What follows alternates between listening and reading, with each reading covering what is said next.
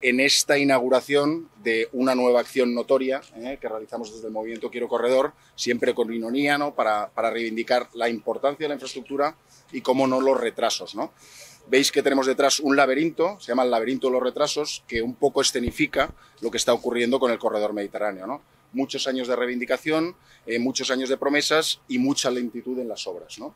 Creo que es injustificable, ¿no? al final, los continuos retrasos que estamos teniendo para la llegada del corredor mediterráneo, por supuesto, a Cartagena, y que se suma a la falta de definición de muchos proyectos durante toda esta legislatura. Hemos tenido, como saben, falta de definición y, por tanto, retrasos en el proyecto de integración de la alta velocidad a Cartagena. Seguimos todavía pendientes de la definición del trazado de la línea específica de mercancías tan necesaria para nuestra ciudad y, por, por supuesto, seguimos eh, esperando que se hagan inversiones en el resto del trayecto durante todo el tramo desde Riquelme a Cartagena, que al final esa falta de definición no ha sido más que una excusa que ha retrasado aún más la contratación de obra para avanzar en todo el trayecto. ¿no? ¿Qué exigimos?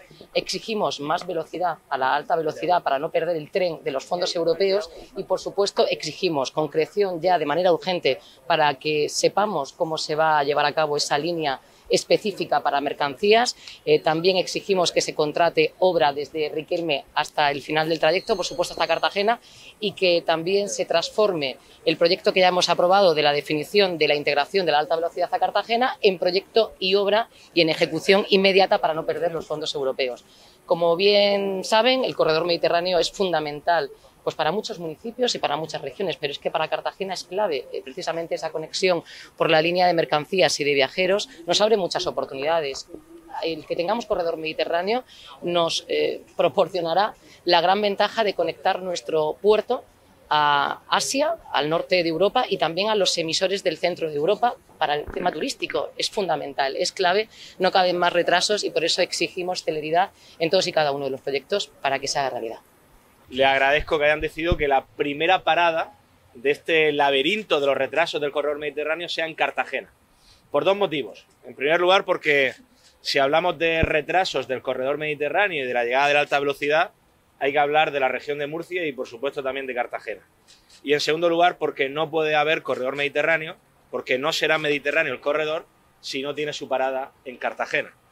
Como sabe perfectamente, hace muy poquitos días, y lo vamos a plantear también en la Asamblea General que vamos a celebrar la próxima semana, el día 22, eh, lo vamos a trasladar al Gobierno de la región y, lógicamente, vamos a pedirle al Gobierno de la región que lo haga igualmente al Gobierno de España.